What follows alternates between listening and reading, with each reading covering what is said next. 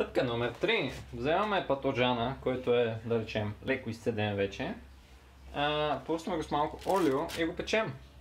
Според рецептата ще го печем за бла бла бла бла 20 минути на 180 градуса. Окей.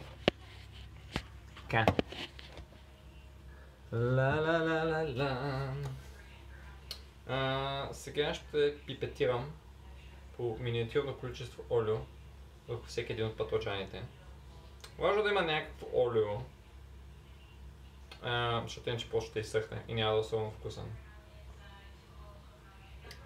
Също така това е напълно вегетарианска рецепта, в която има основно зеленчуци, което означава, че така иначе не е прекалено калорична, та трябва да добавим малко хранителна стоеност.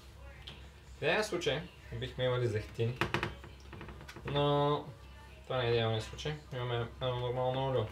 Но зехтин или кокосово масло или нещо такова ще бъде абсолютно перфектно за тази рецепта. Така, след което гледаме да наредим патроджанчетата. Така че да няма скрити, защото скритите няма да се изпекат много хубаво. Тай, тай, тай. Патроджан микс.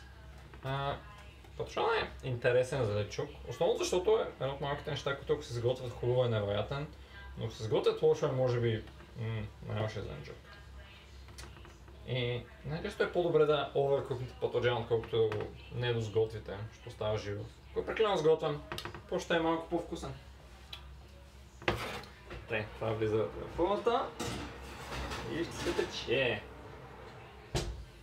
И това е край на видео 3.